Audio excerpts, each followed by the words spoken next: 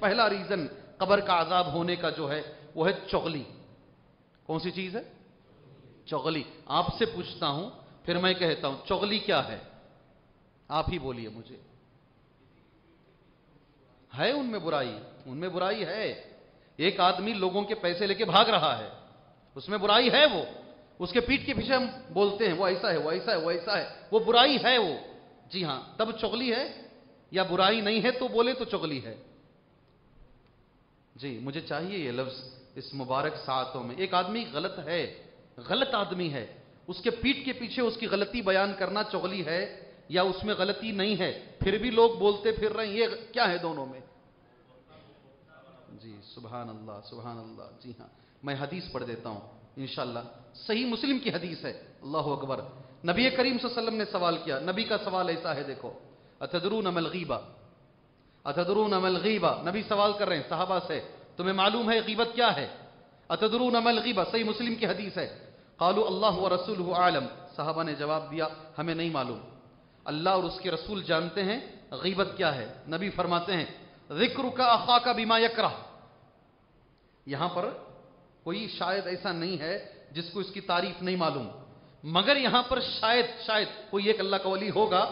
بہت زیادہ لوگ ایسے ہیں میجارٹی ایسی ہے جو اس میں شامل ہے۔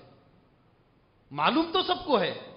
عمل میں ہماری کمی ہے، کوتا ہی ہے۔ اسی لیے یہ بولا جا رہا ہے میرے بھائی۔ اللہ کے نبی نے فرمایا ذکر کا اخا کا بیما یکرا تیرے بھائی کا ذکر، تیرے بھائی کا ذکر اس کے پیٹ کے پیچھے۔ ایسا ذکر جو وہ نہیں پسند کرتا کہ ویسا ذکر کیا جائے۔ نہیں، یہ ہمارے نبی کی تعریف ہے۔ ذکر کا اخا کا بیما یکرا تیرے بھائی کا ذکر کرنا اس کے پیٹ کے پیچھے ان ان الفاظ کے ساتھ جس کو وہ پسند نہیں کرتا، اگر اسے معلوم ہوگا، تمہارے پیٹ کے پیچھے ایسی تمہاری بات چیت کی گئی، وہ نفرت کرے گا۔ کیوں کیا؟ میری میری بات چیت۔ ذکر کا اخا کا بیما یکرا قیل، صحابہ سوال کر رہے ہیں۔ اور اے اللہ کے نبی، ایک جواب دیجیے۔ آپ نے تو تعریف بیان کر دیا۔ حدیث کہاں ہے یہ؟ صحیح مسلم میں۔ اے اللہ کے رسول صلی اللہ علیہ وسلم، ایک جواب دیجیے۔ انکان فی اخی ما اقل۔ اگر وہ چیز اس میں موجود ہے جو میں بول رہا ہوں وہ جھوٹا ہی ہے، وہ ویسا ہی ہے جیسا میں کہہ رہا ہوں۔ قال، اللہ کے نبی جواب دیتے ہیں، میرے بھائیوں، اللہ سے اس موقع پر بھیک مانگو۔ بھیک مانگو اللہ پاک سے۔